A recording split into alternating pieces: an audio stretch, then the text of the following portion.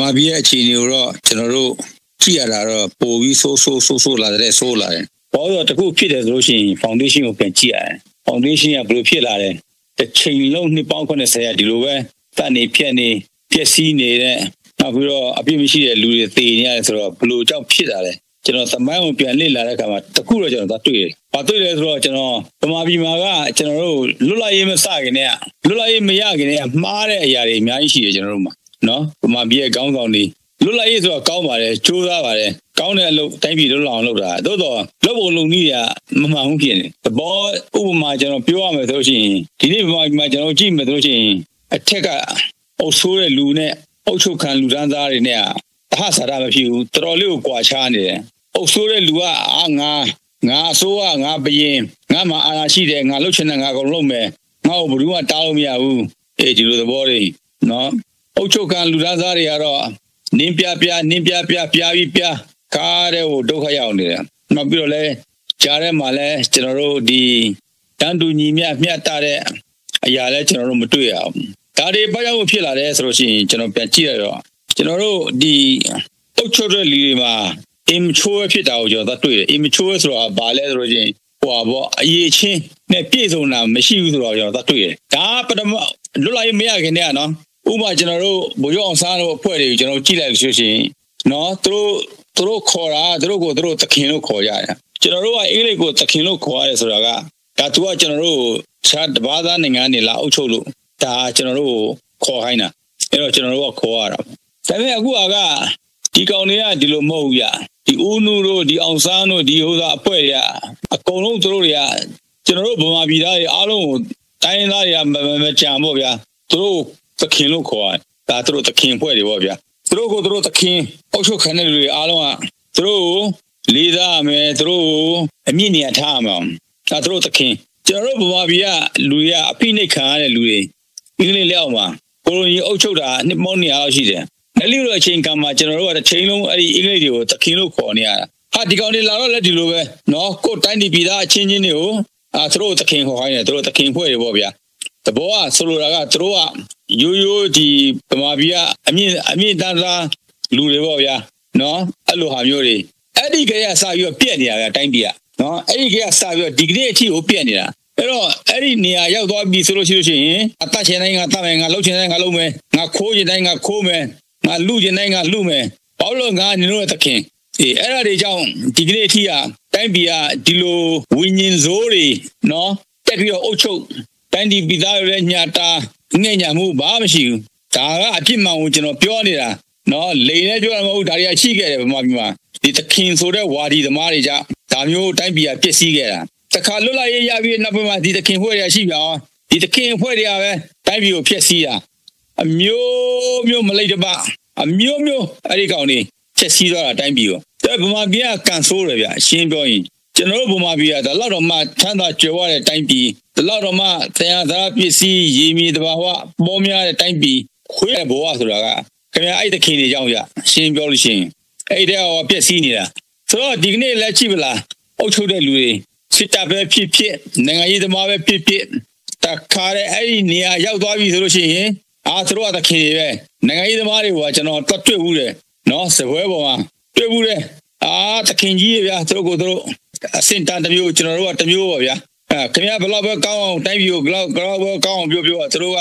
သူတို့နားထောင်ခြင်းမနားထောင်မှာဒီသူတို့ရှိသွားတဲ့ခါကျရင်လည်းတခါတည်းပတ်စံမှာယူသွားပြရတယ်ခင်ဗျာပတ်စံတွေရွှေတွေငွေသူတို့သွားပြီးတော့ပတ်သက်ဖို့သွားတယ်ဒါမှပါရင်သူတို့ခင်ဗျားခင်ဗျားဟိုမပြောဘူးရစကားမပြောဘူးဒါကနိုင်ငံရေးသမားတွေမှာရောနော်တော်စုအချိန်မှလည်းဒီလိုပဲအခုစစ်တပ်အချိန်မှလည်းဒီလိုပဲဒါတွေကဘယ်အချိန်တွေကပြည့်စည်နေတယ်ဆိုတော့အဲ့ဒီလွတ်လိုက်မရခင်နဲ့ အဲ့ဒီဝါဒီသမားတွေကြောင့်သခင်ဆိုတဲ့ဝါဒီသမားတွေကြောင့်တိုင်းပြည်ကဒီနေ့အထိပြည့်စည်ရတယ်တိုင်းပြည်ကိုအုပ်ချုပ်မယ်ဆိုလို့ရှိရင်မင်းလုပ်တယ်ဆိုလို့ရှိလို့ရှိရင်ကျွန်တော်တို့ရဲ့တိုင်းပြည်ကအရေးချင်းမရှိဘူးဗျအရေးချင်းမရှိဘဲနဲ့တက်ပြီးတော့တခါတည်းခေါင်းဆောင်ထားလုံနေတာနောက်ပြီးတော့သူများနိုင်ငံတွေရဲ့ခေါင်းဆောင်တွေနဲ့စားလို့ရှိရင်ကျွန်တော်တို့ကလုံးဝခေါင်းဆောင်မဖြစ်တိုက်တဲ့လူတွေတက်ပြီးတော့ခေါင်းဆောင်တက်လုံနေကောင်းနေစစ်တပ်မှာပဲကြည့်ကြည့်နိုင်ငံရေးမှာပဲကြည့်ကြည့်ဒါတွေကနောက်သူတို့ချင်းချကြဗျာအာသူတို့ချင်းချင်းတခါတည်း ဖြစ်ကြရန်ဖြစ်ကြချကြနောက်ဆုံးတော့ဘလူထိတယ်ပြည်သူတွေပဲဒုက္ခရောက်တယ်နောက်ဒီကြားထဲမှာလည်းကျွန်တော်ကတစ်ဖက်သားလည်းမပြောဘူးဗျတိုင်းသားခေါင်းဆောင်တွေမှာစစ်မှန်တဲ့တော်လှန်ရေးခေါင်းဆောင်တွေရှိတယ်ဗျစစ်မှန်တဲ့တော်လှန်ရေးခေါင်းဆောင်တွေရှိတဲ့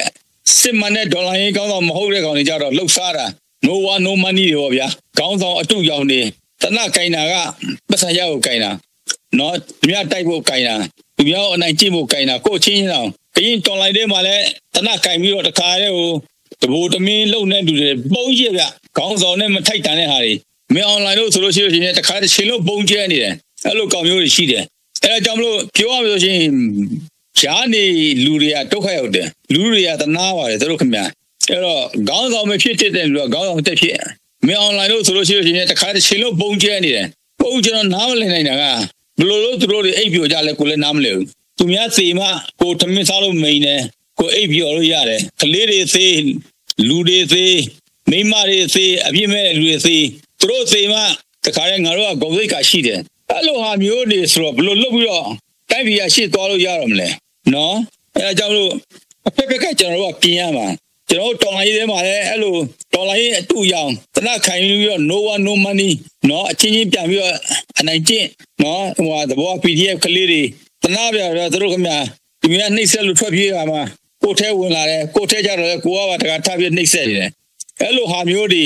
အကျင့်စာရိတ္တမကောင်းတဲ့ခေါင်းဆောင်တွေရုပ်မာတဲ့ခေါင်းဆောင်တွေကြောင့်ဒီနေ့တိုင်းပြည်ဟာနော်အဖက်ဖက်ကကြာရှုံးမှုတွေဖြစ်လာတယ်ဘယ်သူမှမစင်စားဘူးဗျစစ်မှန်တဲ့ညီညာရေးနဲ့ဖွံ့ဖြိုးရေးညီညာရေးနဲ့ဖွံ့ဖြိုးရေးဆိုတာကလူထုနဲ့တိုင်းပြည်အတွက်ဖြစ်တယ်အာညီညာရေးဆိုတာကလည်းမြောင်လာတဲ့ထအော်ပြန်ပြီးညီညာရေးလုံးမဲ့ဘာညာဟုတ်ခမည်းလုံးမဲ့ညီညာရေးကဘာညီညာရေးကိုပြောနေတာလေ ခမည်းရဲ့ဝါဒီခမည်းရဲ့အတွေးအခေါ်နဲ့စစ်မှန်တဲ့ညီညာရေးဆိုတာလုံးဝမဖြစ်နိုင်ဘူးဒါပေမဲ့ခမည်းလုံးလို့မရဘူးလားလုံးလို့ရတယ်ခမည်းတကယ်လုံးမလားလုံးပါဒါဆိုလို့ချင်းဘုံကျဲတာတွေအကုန်လုံးရပ်လိုက်စစ်တိုက်တာတွေအကုန်လုံးရပ်လိုက်ရပ်ပြီးတော့စစ်မှန်တဲ့ဒီမိုကရေစီဖြစ်အောင်တခါလေအနေနဲ့အရရတိုင်းသားဒေသမှာလည်းသူ self determination နဲ့သူခေါင်းဆောင်သူဒေသလိုက်ရွေးကောက်ရွေးချယ်နိုင်မှုရှိရမယ်။နော်ကရင်ခေါင်းဆောင် တင်လူမျိုးတွေကသူတို့ကတော့ရွေးရွေးချယ်နိုင်မှုရှိရမယ်။ငါလည်းနဲ့ရှိတယ်ငါမိုက်တယ်ကွာမင်းတို့ကဒါလို့ငါခေါင်းဆောင်ဖြစ်တယ်နဲ့အဲ့လိုကောင်မျိုးတွေကလုံးဝနေရာမရှိဘူး။တိုင်းပြည်မှာတကယ်လူတို့ကိုအကျိုးပြုတဲ့လူတွေတကယ်လူတို့ကိုစာနာတဲ့လူတွေဒေတာကိုဖွံ့ဖြိုးအောင်လုပ်တဲ့လူတွေနော်အုပ်ချုပ်တတ်တဲ့လူတွေမှလူတို့ကရွေးချယ်တဲ့လူတွေ by the people for the people ဒီလိုလူမျိုးတွေမှခေါင်းဆောင်ဖြစ်တဲ့နာဘာမဟုတ်တဲ့တခါရဲ့ရှိသမျှကျဲရကိုလုံးလျှောက်ကောက်တာဟိုဘမစစ်တမှာဆိုချင်းမင်းအောင်လာလဲ သူရှိသမျှကျဲရသူလျှောက်ကောက်တာပကုန်းပေါ်မှာရင်ပတ်တယ်မှာဘာလည်းမသိဘူးဘာတစိမ့်လည်းမသိဘူးအလာရမီတခါတိုင်းနာဒေသတွေမှာလဲကျဲရတပကုန်းမှာရှိသမျှကိုကိုကိုဘယ်သူမှကိုကိုမတင်မြောက်ဘဲနဲ့ကိုကိုတင်မြောက်နေတယ်အဲ့လိုကောက်မျိုးတွေရှိတယ်ဗျဆိုတော့ခင်ဗျားတို့ရဲ့ဒီတိုင်းပြည်ကိုကောင်းအောင်လုပ်မယ်ဆိုတော့အရာပါလဲလုံးဝအတိတ်ပဲမရှိတာနော်အဲကြောင့်မလို့အခုနောက်ပိုင်းကလည်းမင်းအောင်လည်းလည်းခေါ်ပြန်ပြီးလာပြန်ပြီးက ဘယ်လိုလာလဲဆိုတော့ရွေးကောက်ပွဲလုပ်မယ်အကုန်လုံးအိမ်တော်စုစင်းနေအတင်းလိုက်ကောက်စစ်သားတွေလည်းအတင်းလိုက်ကောက်လူငယ်လူရွယ်တွေမကြအကုန်လုံးအတင်းလိုက်ကောက်စစ်သားအတင်းတောင်ပြီးတော့ဝင်ခိုင်းသူများမဝင်ခြင်းလဲဝင်ခိုင်းနော်အဲ့လိုကလေးတွေကိုဝင်ခိုင်းပြီးတော့ကိုယ့်အသက်ကိုကာကွယ်ခိုင်းကိုမိသားစုအသက်ကိုကိုယ့်ရဲ့ self interest အကုန်လုံးကာကွယ်ခိုင်းနေတာတင်းကြအဲ့လိုလုပ်တဲ့ပုံစံတွေကတကယ်စစ်မှန်တဲ့ခေါင်းဆောင်မပီတာဘူးဗျဒါတွေက criminal အလုပ်တွေ နော်ရာဇဝတ်မှုအလုပ်တွေဒီကနေ့လုပ်တဲ့ဟာတွေအားလုံးကရာဇဝတ်မှုအလုပ်တွေကြီးပဲဘာမဆိုရာတိုင်းမှာအတင်းကြအားသူစစ်သားတွေကလည်းမိုက်တယ်မပြောနဲ့ခွေးခွေးယူတွေလိုပဲအကုန်လုံးမိုက်ဘိုးကလည်းဝေါ်လော့ဝေါ်လော့နှစ်ခုကြားထဲမှာတခါတည်းတိုင်းလူလူတွေအကုန်လုံးနင်းပြပြနေတာဗစကတော့ပြောတာတိုင်းပြည်ရဲ့လူမျိုးပဲလှုပ်လိုက်တာငါအတွက်ပဲအဲ့ဒါဒီကြောင့်လူဖြစ်နေတာနော်ကျွန်တော်နှစ်ဖက်လုံးပြောနေတာတစ်ဖက်မပြောရမဟုတ်ဘူးဆိုတော့ဒီကနေ့ ရေကောက်ပွဲလုပ်မယ်တဲ့စဉ်းစားကြည့်ပါရေကောက်ပွဲဆိုတာကရေကောက်ပွဲလုပ်တယ်ဆိုတာကစစ်မှန်တဲ့ဒီမိုကရေစီကဘယ်တော့မှစစ်တပ်ကပေါက်ဖွာလာတာမဟုတ်ဘူးလူတို့ကပေါက်ဖွာလာတာဖြစ်တယ်စစ်တပ်ကပေါက်ဖွာလာတဲ့ဒီရေကောက်ပွဲကဘယ်မှာပြည်မှာလောက်လာကြားလာပြီဟိုတန်းချွေလက်ထက်ကဒီကနေ့ဒီဘာစစ်မှန်တဲ့ဒီမိုကရေစီကဘာတစ်ခုမှမတွေ့ဘူးနော်စစ်မှန်တဲ့ဒီမိုကရေစီကိုလှုပ်ချင်တယ်ဆိုလို့ရှိလို့ရှိရင်အစတက်ကအာဏာစပြီးတော့တိန်းနေတဲ့ကျွန်တော်ပြောတဲ့တစ်နှစ်အတွင်းမှာ လူတို့ကိုအာဏာပြန်အနောက်ပြီးတော့အိမ်ဆောက်ဆိုးရကနေစပြီးတော့အမြန်ဆုံးရေကောက်ပွဲလှုပ်ဒါကြီးကျွန်တော်ပြောခဲ့တယ်တိုးတော်လည်းမလှုပ်ဘူးမလှုပ်ပွဲနဲ့အခုမှထပြီးတော့တခါတည်းကိုလူတွေအတင်းစင်းရင်လိုက်ကောက်အတင်းဟောလှုပ်ပြီးတော့ရေကောက်ပွဲမဖြစ်ဘူးဗျရှင်းပြောလို့ရှိရင်ကျွန်တော်အနေနဲ့ဖြစ်စေချင်တယ်တိုးတော်လည်းမဖြစ်ဘူးမဖြစ်နိုင်တဲ့ဥစ္စာဘာလို့မဖြစ်လဲဆိုတော့သူနီးလာမှမဟုတ်တာနော်စစ်မှန်တဲ့ရွေးကောက်ပွဲစစ်မှန်တဲ့ဒီမိုကရေစီဟိုလုပ်မယ်ဆိုလို့ရှိလို့ရှိရင်တခြားနီးလာနေအများကြီးတယ် အိမ်ဆောင်အစိုးရဖွဲ့ဟိုပေါ့ civilian အစိုးရအဲ့ဒီ civilian အစိုးရနေပြီးတော့တခါတည်းကိုဒီရွေးကောက်ပွဲကိုတခါတည်းပြင်ဆင်မင်းအောင်လိုက်ပြင်ဆင်ရမှာမဟုတ်ဘူးသူတတ်တယ်ပြင်ဆင်ရမှာမဟုတ်ဘူးဒီအိမ်ဆောင်အစိုးရပြင်ဆင်ရမှာ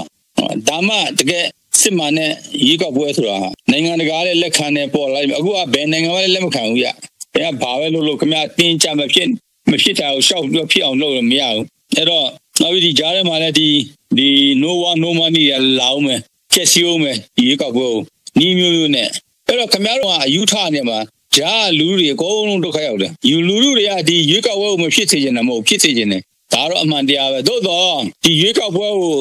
ဖြစ်နိုင်တဲ့နီးလန်းနေရှိတယ်ဗျလို့လို့ရတဲ့နီးလန်းနေရှိတယ်ကျွန်တော်ပြောတာကနော်လူလူရွေးကောက်ပွဲ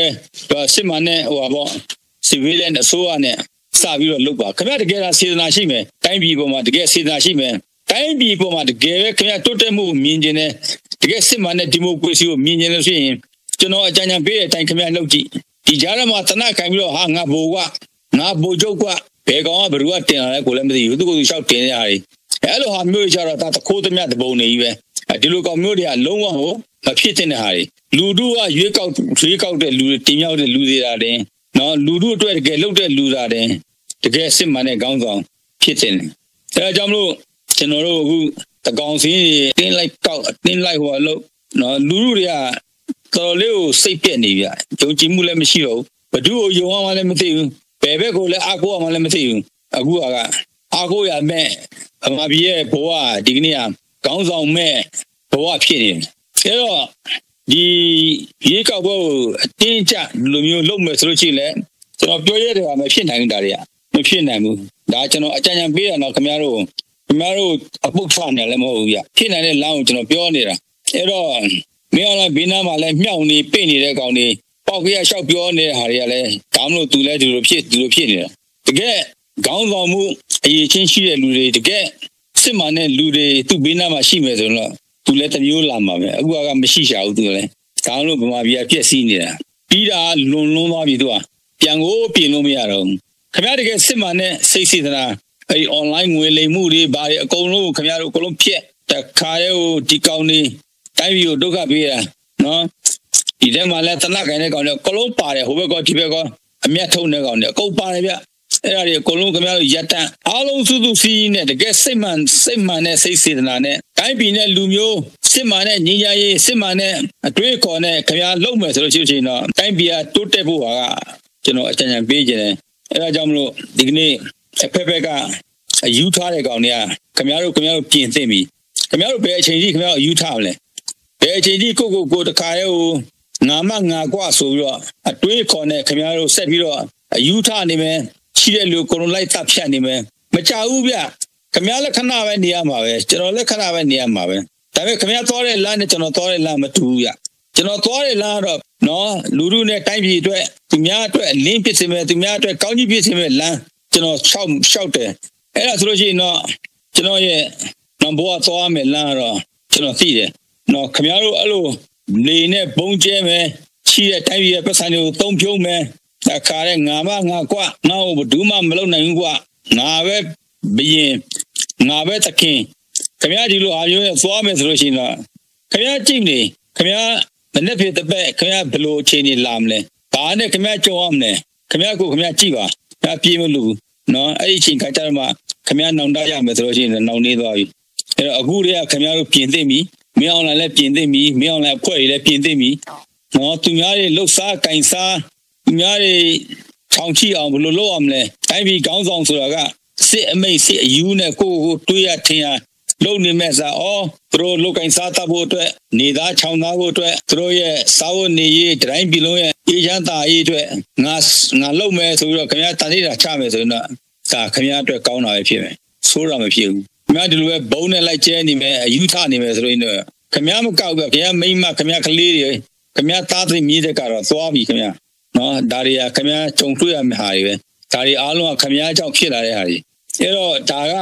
ဂျာနဲ့အာနာယူယူတဲ့ကောင်တွေမင်းအွန်လိုင်းနဲ့တပါတဲ့ထားပြီးတော့ယူနေတဲ့ကောင်တွေရောတခါရဲ့တိုင်းသားဒေသတွေမှာလဲ no one no money တွေရောနော်အဲ့လိုကောင်မျိုးတွေသူတို့ရဲ့နောက်ဆုံးတော့အချိန်ကရောက်လာပြီဗျကျွန်တော်ပြောတယ်ဆိုတာက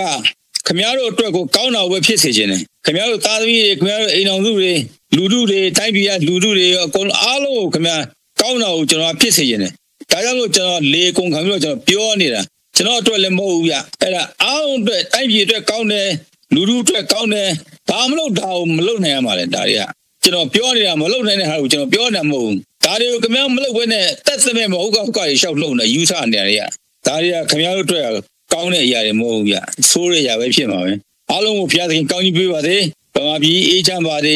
စင်သာလူငယ်လူရွယ်အားလုံးနော်အေးချမ်းစွာဒီတိုင်းပြည်မှာနေနိုင်ပါစေဗမာပြည်တိုးတက်ကြီးပွားပါစေ